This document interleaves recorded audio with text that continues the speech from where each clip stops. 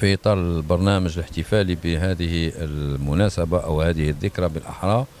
اليوم آه، بصدد تدشين هذه العيادة المتعددة الخدمات والتي سوف تغطي جهة من آه، مقر الولاية. هذا التجمع السكاني كان في حاجة لتدعيم الخدمات الصحية وما يبعث على الارتياح هو هذه الخدمات التي سوف تضمن 24 ساعة ل 24 ساعة. في تخصصات متعددة وخاصة الجانب الاستعجالي.